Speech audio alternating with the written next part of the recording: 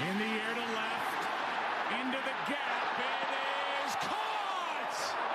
Taylor! With a run-saving catch and who knows how much more.